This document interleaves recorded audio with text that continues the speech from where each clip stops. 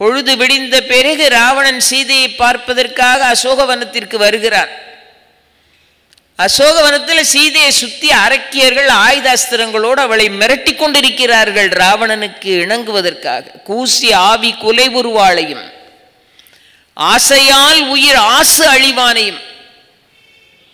ஆசையினால் ஒருவன் அழிந்து கொண்டிருக்கிறான்.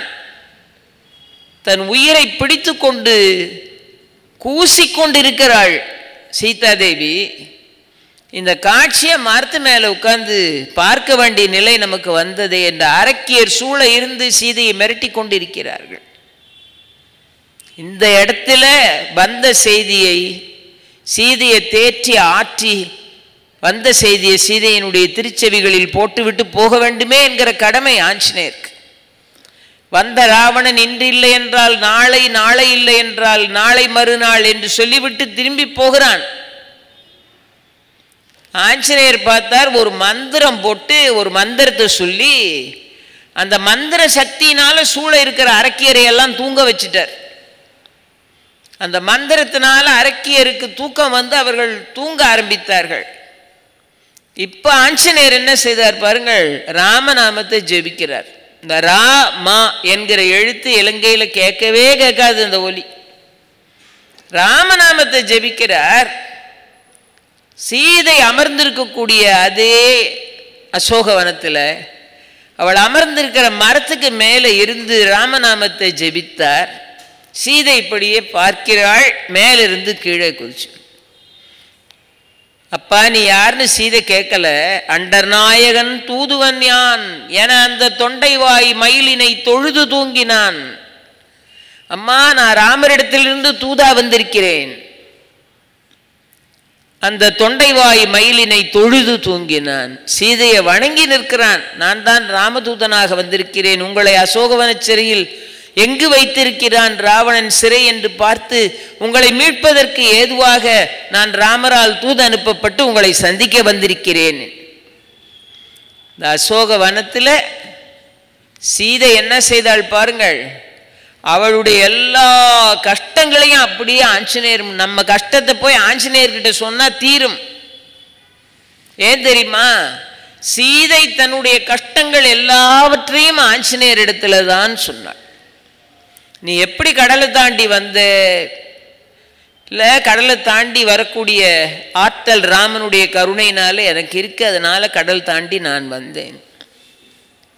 சீதை சொன்னா ஆஞ்சநேயர் சொல்கிறார் அப்படின்னா ஒன்று பண்ணு. பேசாமல் என் முதுகில் ஏறிக்கொள். நான் மீண்டும் கடலை தாண்டி உன்னை கொண்டு போய் ராமரிடத்தில் சேர்த்து விடுகிறேன். சீதை சொன்ன ஆஞ்சநேயா நீ என் குழந்தை மாதிரி. இருந்தாலும் ராமருடைய திருமேனியை தவிர வேறு எந்த ஆடவனின் மேனியையும் தீண்டாத விரதமுடையவளாகிய நான். நீ என் குழந்தை மாதிரி இருந்தாலும் உன் தோள்மேல் ஏறி வருவது சரியல்ல என்று என் மனம் சொல்லுகிறது. ஏறு சேவகன் மேனி அல்லாலிடை ஆறும் ஐம்பொறி நின்னையும் ஆண் என கூறும் இவ்வொரு தீண்டுதல் கூடுமோ? என்னதான் இருந்தாலும் என் கணவனை தவிர யார் மேனியையும் தீண்டி அறியாத நான் நீ குழந்தையா இருந்தா கூட உன் தோள் மேல ஏறி வர சம்மதிக்க மாட்டேன். நீ போய் செய்தி சொல்லி என்னை மீட்கிற வழியை பார்க்க சொல்லது ஒன்றுதான் இருக்கிற ஒரே வழி. ஆஞ்சநேயர் சீதை படுகிற துக்கத்தையும் துன்பத்தையும் கண்ணால பார்த்தார். நான் தான் ராமதூதன் என்பதை காட்டுவதற்காக ராமர் கொடுத்து விட்ட கணையாளியையும் காட்டினார் சீதைக்கு. எங்க பார்த்தாலும் ஒரே இருள்மயமா இருக்கிற நேரத்தில் ஒரு சின்ன வெளிச்சம் எங்கே இருந்தாவது கிடைச்சா எப்படி ஒரு நம்பிக்கை பிறக்கும்? இந்த மாதிரி ஆஞ்சநேயரை பார்த்த பிறகு சீதைக்கு ஒரு சின்ன நம்பிக்கை பிறந்தது. அவரை பார்க்குற வரைக்கும் சீதை விரக்தியினுடைய எல்லைக்கே போய் அந்த அசோகவனத்தில் இருக்கிற கொடிகளை எடுத்து ஒன்றா சேர்த்து கயிறு மாதிரி மாற்றி கழுத்தில் போட்டுட்டு உயிரை விட்டுடலாமான்னு நினைத்தாள். அந்த முயற்சி வரைக்கும் போன பிறகு ஆஞ்சநேயர் வந்து கணையாளியை காட்டி தான் ராமதூதன் அண்டர் நாயகன் தூதுவன் யான்? அப்படின்னு சொல்லி சீதையினுடைய மனதை ஆற்றி தேற்றுகிற வேலையை செய்கிறார் இதை கம்பன் சூளாமணி படலம்னு ஒரு தனி படலம். அதில் ஆஞ்சநேயர்கிட்ட என்னவெல்லாம் சீதை சொன்னாள் தன் துக்கத்தை எப்படி பகிர்ந்து கொண்டாள் என்று எல்லாத்தையும் சொல்கிறார் ஆஞ்சநேயர் கேட்டார் இத்தகைய துன்பத்தை சீதை அனுபவித்துக் கொண்டிருக்கிறாள் என்பதை அவரால் தாங்கவே முடியவில்லை. சீதையை பார்த்துட்டு லங்கையினுடைய நிலைமையெல்லாம் பார்த்துட்டார். இதையெல்லாம் பார்த்துவிட்டு சீதையனிடத்தில் சொன்னார் அம்மா சீக்கிரமாக சைன்யத்தோட வந்து இந்த ராவணனை வென்று உங்களை ராமர் மீட்டு கொண்டு போவார். இந்த நல்ல செய்தியை சொல்கிறதுக்காகத்தான் நான் வந்திருக்கேன்னு ஆஞ்சநேயர் சொல்கிறார் சீதை ஆஞ்சநேயரை பார்த்து அப்பா சாகிறதுன்னு இருந்தேன். என் உயிரை காப்பாற்றினாய் பார். நீ ஊழிக்காலமும் அழிவில்லாமல் இருக்கணும். இன்னைக்கும் சிரஞ்சீவியாக தானே ஆஞ்சநேயர் இருந்து கொண்டிருக்கிறார். நாரத மகர்ஷி பிரகலாதன் ஆஞ்சநேயர் இவர்களையெல்லாம் சிரஞ்சீவி பட்டியலில் வைத்து வணங்கி கொண்டிருக்கிறோம் அல்லவா? எத்தனை ஊழிகள் போனாலும் நீ அப்படியே இருக்க வேண்டும் என்று சிரஞ்சீவியா இருக்க வேண்டும் என்று சீதை ஆசீர்வாதம் பண்ணினாள். கா போனாரே கடலை தாண்டி வான் வழியாக பயணப்பட்டு சீதை இருக்கிற இடத்த பார்த்துட்டு வரேன்னு போனாரே எப்போ வருவார் வருவார் என்று ராமர் காத்து கொண்டிருக்கிறார். ஒரு நல்ல பதிலை சொல்ல மாட்டாரா ஆஞ்சநேயர் எப்பொழுது வருவார் என்று காத்து கிடந்தார். சீதையை ஆற்றி தேற்றி வைத்து விட்டு ஆஞ்சநேயர் சொன்னார் அம்மா ஒரு மாத காலம் மட்டும் காத்திருங்கள். இவ்வளவு துன்பத்தை அனுபவித்தீர்கள். கட்டாயமா ராமர் வருவார் உங்களை மீட்பார் இது நிச்சயமா நடக்கும் என்று. சீதைக்கு ஆறுதல் மொழி சொல்லிவிட்டு கணையாளியையும் காட்டிட்டு தான் தான் ராமதூதன் என்பதை நிரூபித்து விட்டு நேராக புறப்பட்டு ராமரிடத்தில் வந்து செய்தி சொல்லணுமே வருகிறார். வந்தவர் எப்போ வருவார் வருவார்னு ராமர் எதிர்பார்த்துட்டு இருக்கும்போது ஆஞ்சநேயர் வருகிற சப்தம் கேட்டது. இப்போ ஆஞ்சநேயர் வந்து ஒரு அவசரமான செய்தியை தெரிஞ்சுக்க வேண்டிய நிலைமையில் ராமர் இருக்கிறார். எவ்வளோ பதட்டமாக இருந்திருக்கும். ஆஃபீஸ் சாவியை நம்ம வீட்டில் பேசிக்கிட்டு இருக்கும்போது வச்சுட்டு போயிட்டாருடா நம்ம எதிர் வீட்டு மாமா அங்கே போய் என்ன பண்ணுவார்? பஸ் ஏறி இருக்காரோ இல்லையோ சீக்கிரமாக ஓடி போய் அவரை பார்த்துட்டு வா அப்படின்னு அப்பா சொல்கிறார் எவ்வளோ அவசரமான வேலை. பையன் போனான் அந்த மாமா அங்கே நிற்கிறாரான்னு பார்க்கறதுக்கு அவரை போக வேண்டாம் நிற்க சொல்லி சாவி எடுத்துகிட்டு வரேன்னார். இதை பார்க்கறதுக்காக போனான் பையன் வந்தான் திரும்பி வந்தான். அவங்க அப்பா என்னடா என்னடான்னு கேட்குறாரு அவசரமாக அவன் சொல்கிறான் நான் போனேன்னா பஸ் ஸ்டாப்புக்கு அப்போ அந்த முன்னால் நம்ம வீட்டுக்கு எதிரே இருந்தாங்கல்ல அந்த அக்கா வந்துட்டாங்க. அவங்க என்னடா நல்லா இருக்கியா சுகமாக இருக்கியான்னு கேட்டாங்க. அவங்களும் ஏதோ கொஞ்சம் பார்க்கறதுக்கு ரொம்ப மெலிஞ்சு போயிருக்காங்க. ஏதோ உடம்பு சரியில்லை. அவள் அப்பாவுக்கு வந்ததே கோபம். ஏன்டா உன்ட்ட இந்த கதையெல்லாம் கேட்டேனா? ஆஃபீஸ் சாவியை வச்சுட்டு போயிட்டாரு. பஸ்ஸில் ஏறிடக்கூடாது. போய் நிற்க சொல்லு. நான் வரேன்னா அவசரமாக சொன்னால் அதை சொல்லாமல் என்னென்னவோ கதை எழுந்துட்டு இருக்கே. இதுக்கு நானே போயிருப்பேனே அப்படின்னு திட்டுறாரு. ஏன்னா அவனுக்கு சூழ்நிலை புரியலை இல்லை ராமர் அவ்வளவு பதட்டத்தோடு இருக்கிறார். என்ன சொல்ல போகிறார் ஆஞ்சநேயர்? அந்த வார்த்தையில் தான் ராமருடைய உயிர் இருக்குது என்ன சொல்ல போகிறார்? நான் போனேன்னா வந்தேன்னா ராவணன் மாளிகைக்குள்ளே போனேன்னா விபீஷனை பார்த்தேன்னா மண்டோதரி படுத்திருந்த இடத்துக்குள்ளே போனேன்னா கும்பகர்ணனை பார்த்தேன்னா இதெல்லாம் எதுவும் சொல்லலை தான் சொல்லின் செல்வர். எந்த நேரத்தில் எதை சொல்லணுமோ அதை சொல்லணும். வேற எதுவுமே சொல்லலை. ஆஞ்சநேயர் ராமருடைய முகக்குறிப்பை பார்த்த உடனே அவரை முதல்ல ஆஸ்வாசப்படுத்தணும். பதட்டமாக இருக்கார். ஆஸ்வாசப்படுத்தணும். என்ன சொல்லலாம்னு பார்த்தார் பாருங்கள். கண்டேன் அப்படின்னார். கண்டேன் சீதையை. அவ்வளோதான் பிறகு மீதி விவரமெல்லாம் சொல்லிக்கலாம். கண்டேன்னு சொன்னால் இருந்தால் தானே பார்க்க முடியும். அப்போ சீதை இருக்கிறாள். ராமரோட சந்தேகமே அவள் இருக்கிறாளோ இல்லை உயிரை துறந்து விட்டாளோ என்று. இந்த அவசரத்தை புரிஞ்சுக்கிட்டு ஆஞ்சநேயர் சொன்ன வார்த்தை கண்டேன் சீதையை. கம்பன் எழுதுகிறான் கண்டனன் கற்பினுக்கு அணியினை கண்களால்.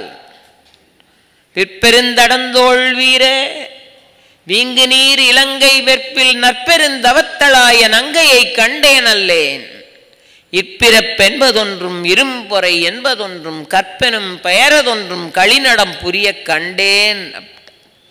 கண்டேன் சீதையன்னு சொன்னால் சீதை இருக்கிறாள் நான் பார்த்தேன் அப்படின்னு சொன்ன உடனே ஆகா உயிரோடு இருக்கிறாளான்னு மனசில் திருப்தி.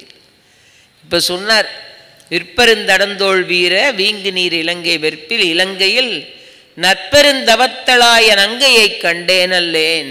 நல்ல தவம் செய்து கொண்டிருக்கிற தவமாம் தையலை பார்த்தேன் என்று மட்டும் சொல்ல மாட்டேன்.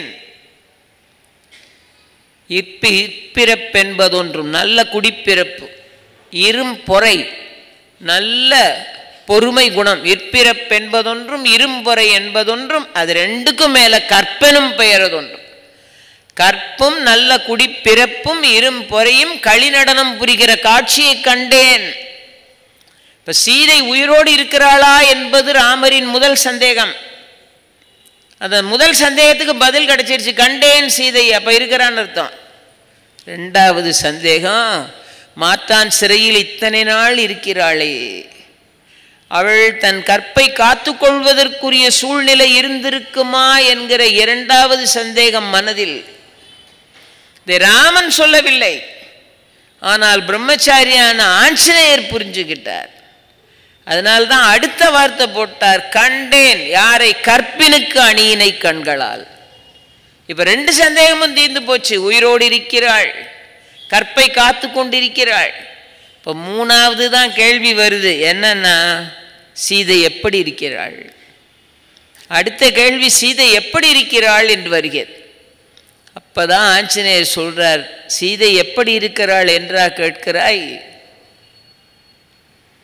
தர்மத்தின் தலைவனாக இருக்கிற ஸ்ரீ ராமச்சந்திர மூர்த்தியினுடைய மனைவியானவள் எந்த இக்கட்டான சூழ்நிலையிலும் எப்படி நடந்து கொள்ள வேண்டுமோ அப்படி இருக்கிறாள். என்ன கஷ்டம் துன்பம் என்ன சூழ்நிலை மாற்றம் வந்தாலும் எப்படி நடந்து கொள்ள வேண்டுமோ அப்படித்தான் ஒரு நல்ல குணபாவமுடைய பெண் நடந்து கொள்வாள்.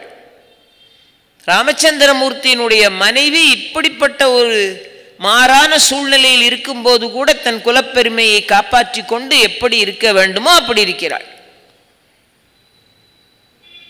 உன்னை பெற்ற மண்பெரும் மருகி என்னும் வாய்மைக்கும் உலகமே புகழ்கிற தசரத சக்கரவர்த்தி தசரத சக்கரவர்த்திக்கு மருமகளாக இருக்க வேண்டிய ஒரு பெண் எந்த சூழ்நிலையிலும் எப்படி தன்னுடைய தகுதியை கட்டி காப்பாற்றிக் கொள்ள வேண்டுமோ அப்படி இருக்கிறாள்.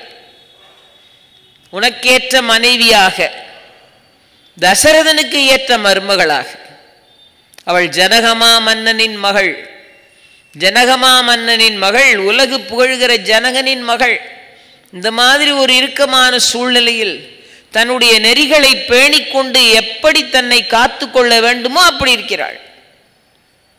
அது மட்டுமா? உலகமே கைதொழுது ஏற்றக்கூடிய பெண் தெய்வமாக இருக்கிறவள் எப்படி இருக்க வேண்டுமோ அப்படி இருக்கிறாள். சீதை எப்படி இருக்கான்னு கேட்ட கேள்விக்கு அதான் சொல்லின் செல்வன். சீதை எப்படி இருக்கிறாள் என்று ராமர் கேட்ட கேள்விக்கு ஆஞ்சநேயர் சொன்ன பதில் கண்டனன் கற்பினுக்கு அணியினை கண்களால் என்று சொன்னதும் ஆஞ்சநேயரின் சொல்வன்மைதான். இப்ப சொல்றார் உன்பெரும் தேவி என்னும் உரிமைக்கும் உன்னை பெற்ற மண்பெரும் மருகி என்னும் வாய்மைக்கும் மித்திலை மன்னன் தன்பெரும் தனையை என்னும் தகைமைக்கும் தலைமை சான்றாள். என்பெரும் தெய்வம் ஐயா இன்னமும் கேட்டி என்றான். என்னை போன்றவர்கள் தொழுது வணங்குகிற தெய்வம் எப்படி இருக்க வேண்டுமோ அப்படி இருக்கிறாள். ராமச்சந்திரமூர்த்தியினுடைய மனைவி எப்படி இருக்க வேண்டுமோ அப்படி இருக்கிறாள். தசரதனுடைய மருமகள் எப்படி இருக்க வேண்டுமோ அப்படி இருக்கிறாள். ஜனகமா மன்னனின் மகள் எப்படி இருக்க வேண்டுமோ அப்படி இருக்கிறாள். இதில் எந்த குறையும் இல்லை என்கிறார் பாருங்கள் ஆஞ்சநேயர். இதை கேட்ட பிறகுதான் ராமருடைய மனசில் ஆஞ்சநேயருடைய வாசகம் ராமருடைய மனதில் எவ்வளவு பெரிய ஆறுதலை ஏற்படுத்தி இருக்க வேண்டும். அந்த சொற்களால் எவ்வளவு ஆறுதல் அடைந்திருப்பார் ராமர். அதனால தான் எல்லாரும் ராமரை போய் தழுவிக்கொள்ள வேண்டும் என்று ஆசைப்படுவார்கள். போய் தழுவிக்கொள்வார்கள் ஆனால் ராமர் ஆஞ்சநேயர் மட்டும் ஆஞ்சநேயா என்னை வந்து தழுவிக்கொள் என்னை வந்து தழுவிக்கொள் ஆஞ்சநேயருக்கு அவ்வளவு உயர்ந்த இடம் ராமருடைய மனதில் இருந்தது. ஏன்னா ஆஞ்சநேயர் பண்ண கைங்கரியம் அப்படிப்பட்டது. காப்பிய பரப்பில் ஆஞ்சநேயருடைய கிஷ்கிந்தா காண்டத்துக்கு பிறகு கடைசி வரையிலேயும் ஆஞ்சநேயருடைய செயல்பாடுகள் ஏராளமாக கம்பனால் சிறப்பாக வர்ணிக்கப்பட்டிருக்கிறது. ஆஞ்சநேயர் எப்படி நரசிங்கமூர்த்தியினுடைய உபாசன கம்பனுக்கு இருந்ததோ அது மாதிரி ஆஞ்சநேயர் இடத்துல அதீதமான பக்தியும் இருந்தது கம்பனுடைய சிறப்பும் பெருமை என்ன அப்படின்னா ஒரு செய்தியை சொல்லும்போது கம்பனுக்கே உரிய பாணியில் சொல்வது. சொல்லழகு என்று சொல்லுகிறோமே அந்த சொல்லின் செல்வனாக கம்பன் இருந்தார். அதனால்தான் அவனால் அவ்வளவு சிறப்பாக சொல்ல முடிந்தது. யாரும் சொல்லாத செய்திகளை சொன்ன பெருமை கம்பனுக்கு உண்டு. வாலியை வதம் பண்ணின பிறகு ராமருக்கே மனசுல கொஞ்சம் நெருடல் இருந்தது. ஏன்னா வாலி பேசின பேச்சுக்கள் ஆனால் ராமனுடைய பெருமையும் வாலி விட்டு கொடுத்ததாக தெரியவில்லை. குற்றத்தை மட்டும் சுட்டி காட்டி பேசுகிறான் வாலி. நீ பேசும்போது வாலி மனசில் இருந்தது பாருங்கள் ராமனை நினைக்கும் போது எப்பேற்பட்ட குலத்தில் உதித்தவன்? சூரிய குலத்தில் வந்தவன். சூரிய குலத்தில் உதித்தவன். என்ன? அப்பாவுக்கு பிள்ளை தப்பா ப- தப்பாம பிறந்திருக்கேன்னு கேட்டானா இல்லையா? போய் போய் பரதன் பேரை கெடுத்துட்டியேனானா இல்லையா? யாருமே சொல்ல மாட்டாங்க அப்படி. உன் தம்பி பேரை கெடுத்துட்டியடான்னு சொல்கிறது ரொம்ப அரிது. உன் தம்பி பேரை கெடுத்துட்டியே பரதன் பேரை கெடுத்துட்டிய அப்படி இல்லை கம்பன். அந்த வாலி அப்படி பேசும்போது ராமனுடைய பெருமை மகிமை எல்லாத்தையும் உணர்ந்தவன் தான் வாலி. மனைவியை பார்த்து சொன்னான் வேற யாராவது சொல்லியிருந்தா அவங்க நாவு இருந்திருக்காதுன்னு சொல்கிற அளவுக்கு ராமர் மேல் அபிப்பிராயம் வச்சிருந்தவன் தான். கம்பன் தன்னுடைய முத்திரையை பதிக்கிற இடங்கள். எல்லாம் சொல்லிட்டு தர்மமே தன்னை போய் தற்கொலை பண்ணிக்குமா? தர்மமே தவிர்க்குமோ? தன்னைத்தானரோன்னா? தர்மமே தன்னை போய் தற்கொலை பண்ணிக்குமா எங்காவது? நீ செய்தது தவறு என்பது உனக்கே புரியாமலா இருக்கிறது. மறைஞ்சிருந்து காட்டில் புலி சிங்கம் இந்த மாதிரி மிருகங்களை தான் வேட்டையாடுவாங்க. பார்க்கடலை கடையிறதுக்கு தன் பலத்தினால் ஒரு கை கொடுத்தவனே நேருக்கு நேராக வந்து கூட சண்டை போட்டு வீழ்த்தியிருக்கலாம். அதுக்காக மறைஞ்சிருந்து இப்படியா எத்தனையோ கேள்விகளை கேட்டான் தொடர்ந்து. ஒருவேளை சீதையை பிரிஞ்சதுனால மனசு குழம்பி போயிருக்கியோ ஆவியை ஜனகன் பெற்ற அன்னத்தை அமிழ்தின் வந்த தேவியை பிரிந்ததால் திகைத்தனை போலும் செய்கைனா மனைவியை பிரிஞ்சதுனால ஏற்பட்ட மயக்கத்தினால இப்படிப்பட்ட தப்பை பண்ணிட்டியா அப்படின்ட்டு. இதெல்லாம் ராமர் கேட்டுட்டே இருந்தார். அதில் கம்பன் ஒரு முத்திரை பதிக்கிறான். இந்த சம்பாதம் வான்மீகியிலையும் நிறைய இருக்கிறது. கம்பன் அதில் ஒரு முத்திரை பதிக்கிறான். இந்த வாலி சொன்னா நீ சூரிய குலத்தில் வந்தவன். சூரிய பகவானுக்கு வந்து சூரிய பகவானுடைய ஒளி கற்றை. இந்த உலகம் முழுவதும் பரவுகிறது. அந்த சூரியனுக்கு களங்கமே கிடையாது. சூரியனுக்கு களங்கம் உண்டா என்றால் இல்லை. களங்கம் சந்திரனுக்கு தான் உண்டு. கலைகள் தேயும் கலைகள் வளரும். பூர்ண சந்திரனா இருக்கும்போது கூட சந்திரனில் களங்கம் இருக்கிறத பார்க்கலாம். சந்திரனுக்கு களங்கம் உண்டு. நீ சூரிய குல தோன்றல். உன் குலமுதல்வன் சூரிய பகவான். ஆக ராமா என்கிற அழகான திருநாமத்தை உனக்கு வைத்தான் வசிஷ்டன். உலகம் உன்னை என்ன சொல்லி அழைக்க வேண்டும்? நீ சூரிய குல தோன்றல் என்பதனால் உலகம் உன்னை ராம சூரியன்னு சொல்லணும். ஆனால் இந்த உலகத்தில் யாரும் உன்னை ராமசூரியன்னு சொல்கிறதே கிடையாது. எல்லாரும் உன்னை ராமச்சந்திரன்னு தான் சொல்லுவார்கள். ஏன்னா சூரியனுக்கு கழங்கம் கிடையாது சந்திரனுக்கு உண்டு. நீ என்ன வதம் பண்ணினதுனால உன் பேரையே மாற்றி வைக்கிறேன் பார். இனிமேல் நீ ராம சூரியன் அல்ல நீ ராமச்சந்திரன். வாலி வச்ச பேர் தான் நிலச்சி போச்சு. அவன் தான் சில பேர் சொல்லுவாங்க பாருங்க உன் பேரே மாத்திரனா இல்லையான்பார் அப்படிம்பாங்க. உன் பேரை மாற்றி வச்சுப்புடுற அப்படிம்பாங்க. அதுக்கு என்ன அர்த்தம்னு இதை படிக்கும்போது தான் புரியுது.